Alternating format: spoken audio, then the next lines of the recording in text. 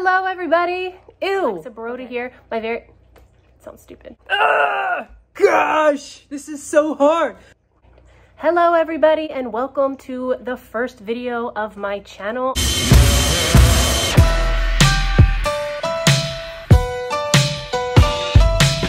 Yes, I have a channel. I can't believe I'm doing this. It has been a long time coming. If you're a little surprised and speechless, so am I. Just consider this just a welcome video. I cannot even tell you how pumped I am about teaching English. Before I move forward, it might be helpful to share some pieces of my life with you.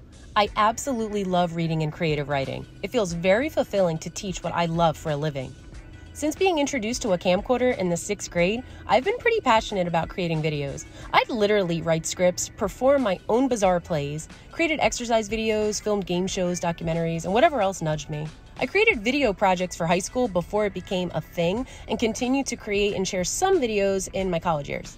Someone called me a wannabe Jenna Marbles, so I stopped. Shame on me. Close friends and family can probably recall an elaborate, personal, funky video I've sent them. Videos aren't new for me. The only thing new here is I figured out a new way to channel all the energy and fun it brings me.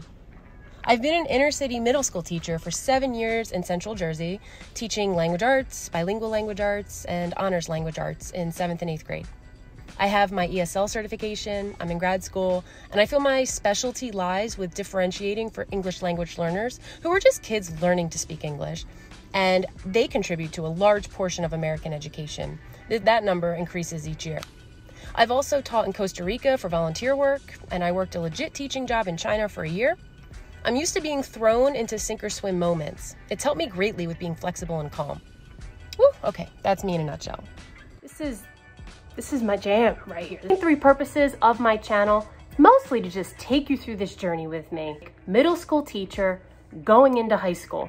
Purpose number two is to just add, shed some light and some grace on the teaching profession because my God, teaching is hard. And three, I would like to address some of these preconceived notions, some of these stereotypes that, that, urban districts automatically get put into because they're urban districts. Stereotypes, like some of you might take my humor, my funny voices, the way that I speak, what I look like, I don't know, put that into a ball and stereotype me as someone who doesn't know what she's talking about. That's okay, but guess what? That is teaching. That's what makes me a good teacher. Cell phones, video games, we've got some competition to the point of annoyance. So half of teaching these days is entertainment, is humor. So what you see, this is just what happens on a daily basis to keep the attention, keep the attention going. Do I have your attention? Picture what I'm walking into. So it's COVID-19, right? In two weeks I start, that is mid-January. I'm not even sure if I'm going to see my eighth graders just yet because there's talk about going back to school remotely for two weeks. And at that point, you know, I would be in the high school. But I'm going during COVID. If you're a teacher, you know that the struggle has been real this year with between attendance and sickness and everything else. So I'm going during this time. I do not know my way around this huge school. There's a chance that I'm just kind of going to be thrown to the wolves, sink or swim, which is how I started when I taught middle school. just have one small request from these teenagers though.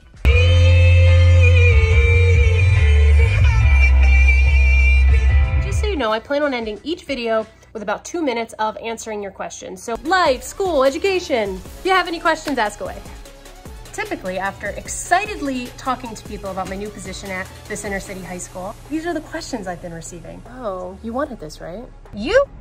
Was that, um, voluntary? Wow, you sure you're ready for that?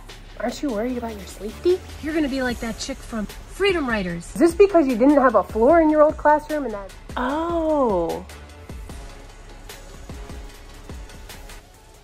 Silence silence. I think that's the worst one. It is not that serious. You guys, please follow my channel so that I can show you, yes, it is challenging. Yes, in some ways the grass is greener on the other side, but ultimately all teaching is the same. We all deal with the same problems. All right, so let's just be serious for one second, okay? Let me be loud and clear, truth be told, I choose inner city. Honestly i'm not surprised at all by you know these questions these comments because it takes me back to my first day of middle school. my first day of middle school i didn't know what i was walking into. I didn't know anyone who taught in an urban school district. I just didn't know what to expect. A lot of the questions that people ask i empathize with them because so looking forward to teaching high school. I'm very enthusiastic about this channel. I think it's going to be a lot of fun. What's the worst that could happen